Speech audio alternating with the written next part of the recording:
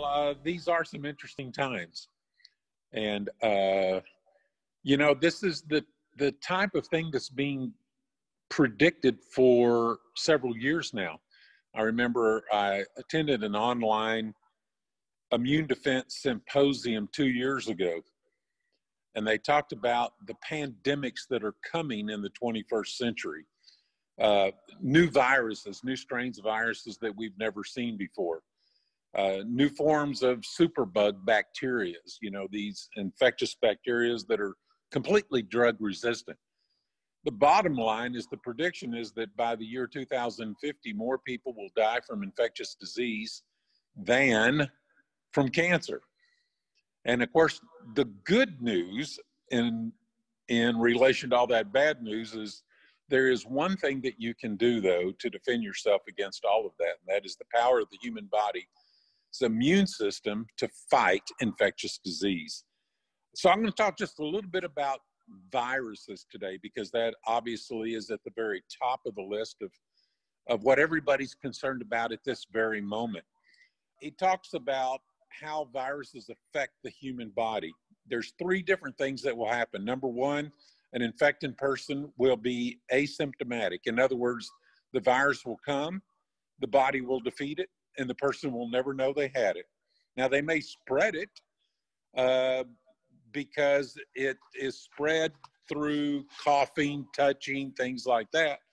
Uh, but they will be asymptomatic and never know that they even had it. Number two, you will uh, you will express symptoms of a viral infection like a flu, and you might have a fever, you might get stiff, you might have a runny nose, you might have pain, you'll be lethargic, of course, sleepy, uh, and that is a degree of infection that some people will express. And then the third group are those that get secondary infections as a result of the virus itself. And that might express itself like pneumonia uh, or some other infection that obviously can be fatal. And these things can shut down your organs uh, and uh, be lethal.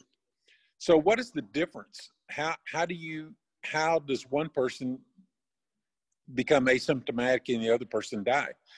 It's in direct relation to the effectiveness of your immune system and its ability to naturally fight that virus. So everybody has an immune system, but in the 21st century, everybody's immune system is to some degree compromised. And that's because the world that we live in. So the main things that cause immune deficiency uh, in the human body are things like uh, malnutrition or a lack of proper nutrition or uh, toxicity or uh, exposure to poor sanitation. Uh, the number one reason that people are toxic in the world today is pharmaceutical drugs. I mean, 60% of the people in this country live with one or more chronic diseases, and over 70% of the people are taking some level of pharmaceutical intervention every day. Well, that's the number one reason for toxicity in the human body. Uh, and then finally, levels of stress. And of course, we live in a stressful environment. So, what is the advice that we get today in terms of reducing your risk of not only uh, contracting a virus, but it expressing itself in a negative way.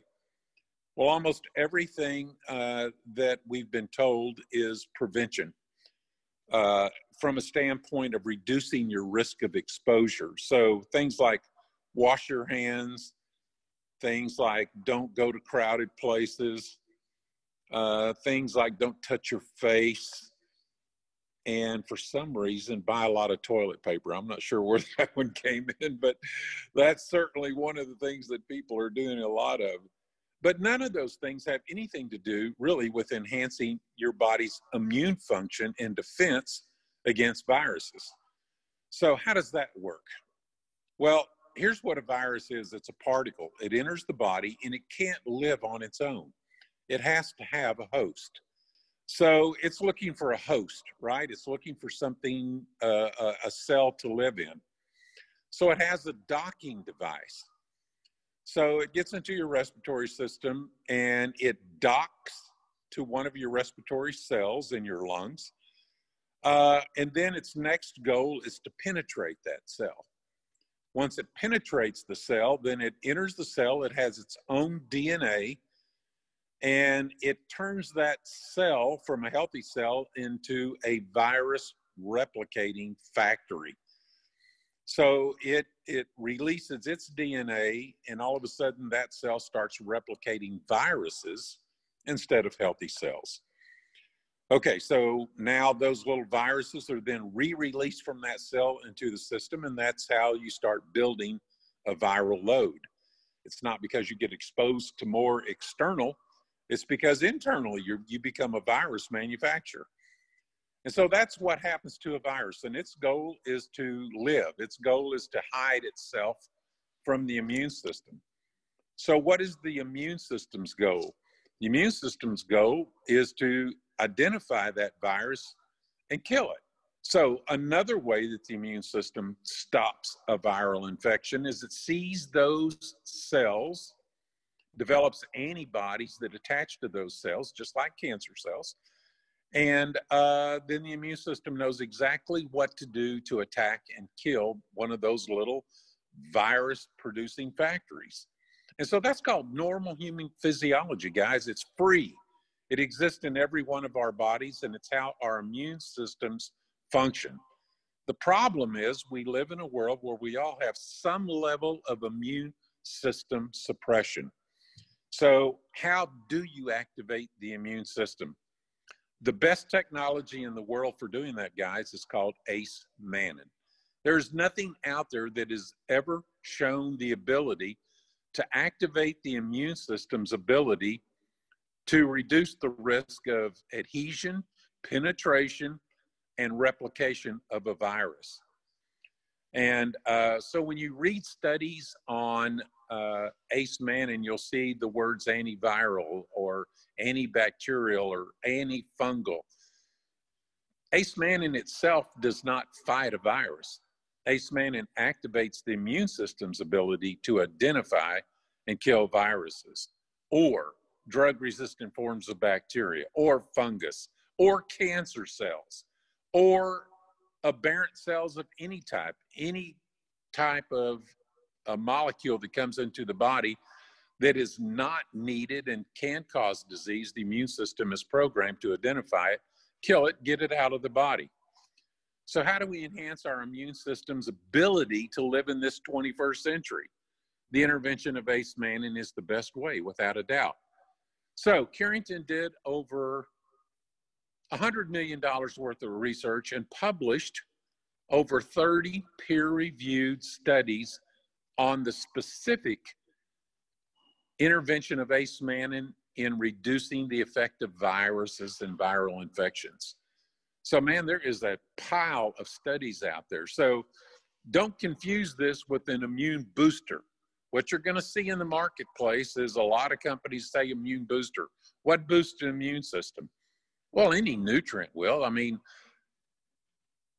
immune deficiency is a, is a response to you know malnutrition so anytime you enhance your immune your your uh, vitamin mineral intake you're obviously going to help your immune system that's different than an immune activator that's different than acemannan's role of turning on the immune system's ability putting it on high alert to identify these aberrant cells, these cells that have been affected by viruses or bacterium or cancer or whatever, and effectively fighting those cells. So there's no better molecule in nature or in medicine that enhances the body's ability to recognize and inhibit the proliferation of viruses in your body. There just isn't any. And there's no amount of research from any other ingredient that even supports that. So, ace is not a drug. If you put ace in a petri dish with a virus, it doesn't kill it. It turns on the immune system's ability to do that. And it does it more effectively and efficaciously than any other molecule in nature. So, guys, there is uh, a need and a very acute awareness in the marketplace for what can we do. And when you hear the news, they always say the people with weakened immune systems or the elderly or those with pre-existing conditions are most susceptible to having a bad response to this virus. Well, all of those people have weakened immune systems. So what is the response to that? You better find a way to increase your immune system's capability of dealing with these 21st century bugs and viruses. And so the timing could not be better for what we're doing. And here's the great news the more people that get educated and understand the value of what we bring them and their, their quality of life impact, the more kids we get to provide this same exact technology to. You know, in the world uh, where we meet on the front line with these children with compromised immune systems around the world, these are places that have no access to medicine or doctors. Turning on a child's immune system is the difference between life and death in these developed nations of the world, developing nations. It's turning out it's the same thing in developed nations. When things like superbugs and viruses come along, a good functioning immune system can be the difference between life and death. It can be the difference between quality of life impact and we have the best technology to do that with. So anyway, thanks for allowing me to share that. Hope that wasn't too scientific. Uh, but it's good to know that there's a scientific basis for the value that we are bringing society today, and it couldn't be a better time to go out and champion our cause.